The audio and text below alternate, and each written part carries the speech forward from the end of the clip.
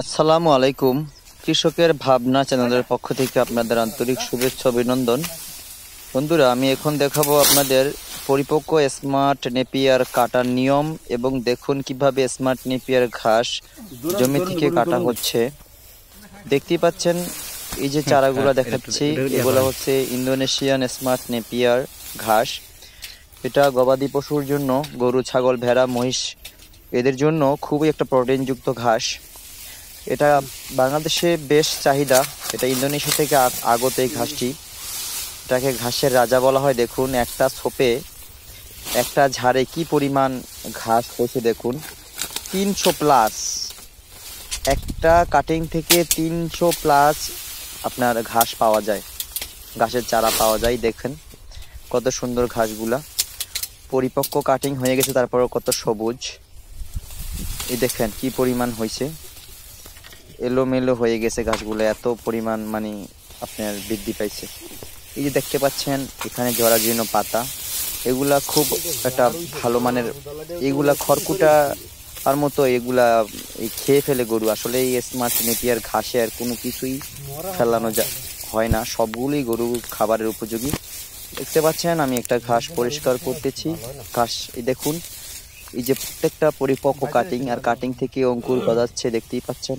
যদি আপনারা এই কাটিং সংগ্রহ করতে চান, তো আমাদের ভিডিওতে স্ক্রিনে দেওয়া নাম্বারে যোগাযোগ করে আপনারা আমাদের কাছ থেকে কাটিং সংগ্রহ করতে পারেন।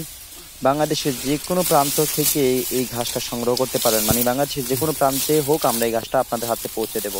দেখতেই পাচ্ছেন পরিপক্ক কাটিং আসলে ঘাস কিনে প্রতারিত হবেন না স্মার্ট নেপিয়ার অরিজিনাল এটা দেখে নেবেন। এই দেখুন।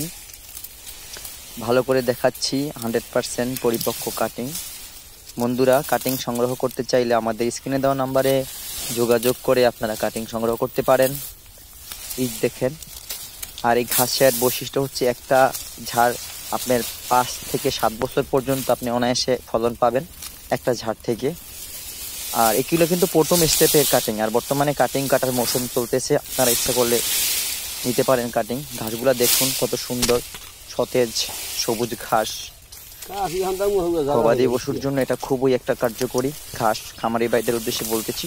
আপনি যদি উদ্যোক্তা হতে চান খামার প্রতিষ্ঠা করতে চান তাহলে আপনাকে ঘাস আগে রোপণ করতে হবে। সেই ক্ষেত্রে ঘাসটা অনেক আপনার কার্যকরী হবে। দেখুন একটা সোপে কি পরিমাণ আপনার চারা গজিয়েছিল একটা ঝাড় আমরা একটা কাটিং বিক্রি করি সেই একটা কাটিং থেকে কিন্তু এতগুলা চারা প্রথম স্টেপেই হয়েছে।